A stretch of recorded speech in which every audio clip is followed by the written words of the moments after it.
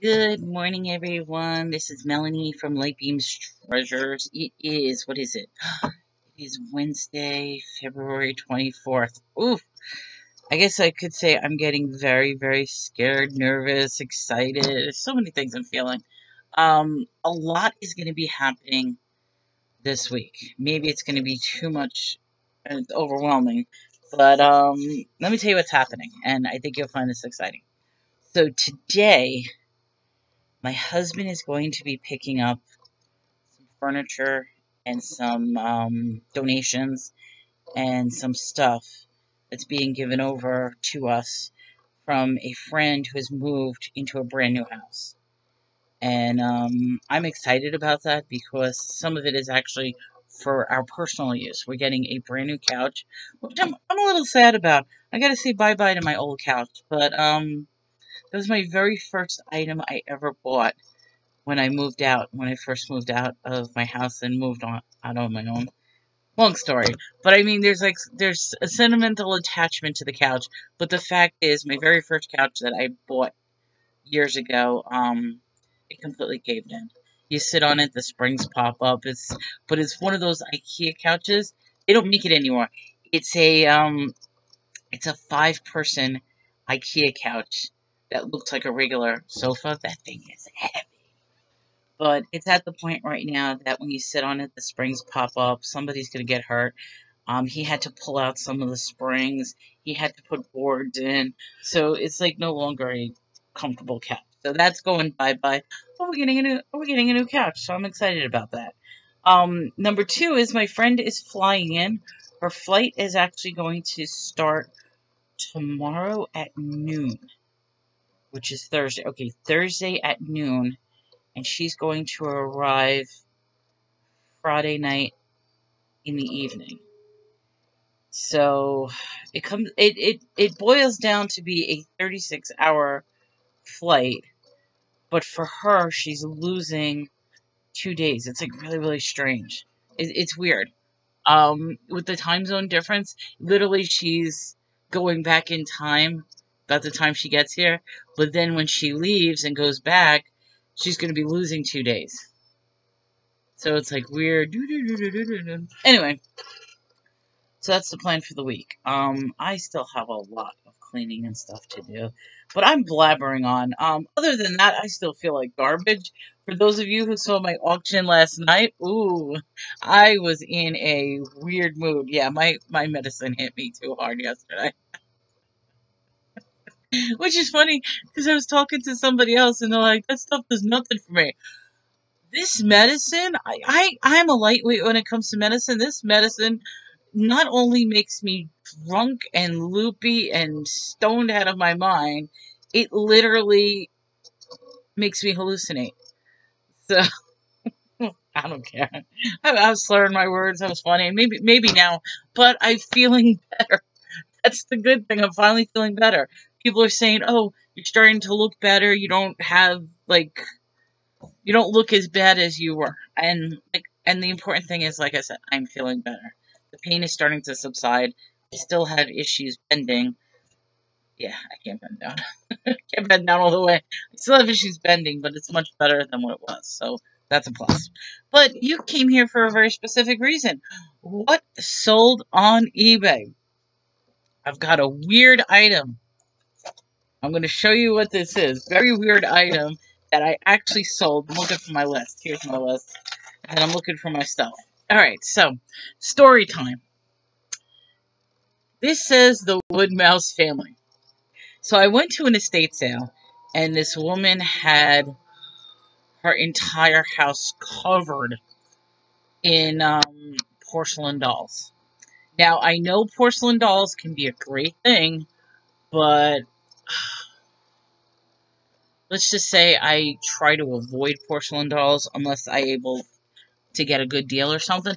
I could have gotten a good deal on these porcelain dolls, but it's a long sale. If you get porcelain dolls, some of them could go for really good money, but you're talking, it's going to be sitting there.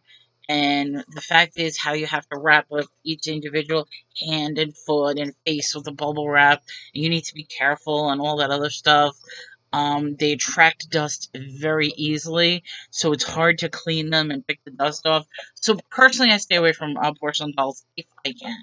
If I get them, then I get them and I try to sell them, and that's what I do. But I mean, I'm not specifically looking. So the story with this is, so I always go to an estate sale on the first day and the last day. Being is the first day you're gonna find the best stuff. The last day they just want to get rid of it, and that's how I could fill my my store up and with great stuff is on the last day. With this particular sale, the first day she had all the dolls. By the last day, the dolls were gone. But there was this box. And when I opened the box, I'm going to show you what this box is. Ah, I know, I'm building it up. They are certificate of authenticities for the Woodmouse family collection. So obviously she had a collection of 25 figurines. I'll read it. It says, This is to certify that the Woodmouse family is a collection of 25 figurines by Pamela Simpson, crafted by fine Biscay porcelain and hand painted. So these are the certificates of authenticity for the collection. So now you're thinking, why would you do that? I sold this. Now I sold this really cheap. Um, considering what I paid for it, I mean, this was actually a throw in, throw because when I was at the sale, it's like, oh, how much for the the paper good? And I'm like, he's like, I'm going to toss those out. No, I'll take them. so considering these, um, I ended up selling this, and it was a sale because I actually had it up for fifteen dollars, but it sold for eleven dollars and four cents. So don't um don't avoid paper goods because, like I said, I probably could have got much more. The weird thing is, this is going to China, which what they're probably going to do is they're going to probably make the figurines and then just add the certificates and then charge them up for whatever amount. Honestly, I don't care. This was a sell. This is super light. It's going to cost about $4 uh, to ship. Sold it for $11. Made a great profit. I mean, it's a small profit, but it's something. Then um, I sold a bunch of movies now, here's the funny thing about the movies. I actually sold, remember I was telling you that if you have multiples of something, and if one item sells, for some reason it triggers true, true, true, that multiples will sell. Well, that's what happened with Ski School. I sold not one, not two, but three of these yesterday. All for $8.99. So three of these is going out. One, two, three. Um, then I sold a movie called Black Water. Three tourists navigating the treacherous swamps of northern Australia are forced to fight their lives by a hungry crocodile that capsized their boat. Okay, so instead of it being like Jaws, doon doon doon doon doon, it's a crocodile. Whatever. It's a thriller, rated R, Blackwater. This one sold for $15. Surprised on that one. I have a feeling though that the person who got that is going to be a difficult customer. I think he's going to be one of those things that um, gets the movie, watches it, and then returns it. Because yeah, that's one thing I don't like about my store. My store is a video rental store. I get a lot of people that do that. Is they'll buy the movie, watch it, and then like, oh, I changed my mind.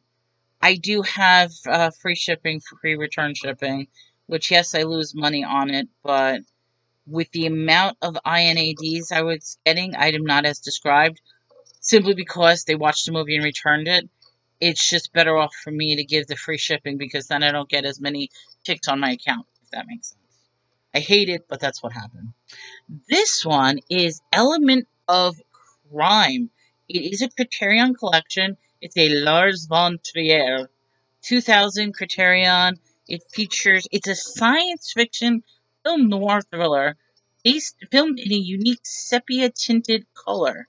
In a post nuclear war, with an obsessed lawman pursues a psychotic child's murder. It's a um, Cannes Film Festival a winner. It's a Danish production that's produced in English. Ooh. This is something I probably would have been interested in watching. However, this is my one and only copy. Oh well. $15.83 is um, what that one sold for. And that's pretty much it. I am happy I had an auction. yesterday. Um, I think I, I, I was out of it. I really was out of it. Um, I mean, towards the end of the auction, I was feeling better. But starting off the auction, I probably was mumbling. I probably was unclear. I have no idea. I thought I brought out some good stuff. Maybe my prices were too high, but I'll bring that stuff out on Thursday. Um, if not, it's going right up on uh, eBay. That's my philosophy. I try to I try to bring good stuff to the auction so I don't have to put it on eBay. that the lazy way? Or maybe I'm doing it the wrong way. Maybe I need to put it up on eBay, and if it doesn't sell after like 90 days, then move it to auction. I don't know. I just feel like it's more work. But that is my story. So today it's going to be listing, listing, listing. I have no auctions tonight. I'm debating about maybe doing a pop-up, but I think I'm going to focus more on listing because if I could clean this area up and list and go a little crazy with listing, list, list, list, that should be a good thing. So with that, this is Melanie from Lightbeams Treasures. Take care, everyone, and until next time.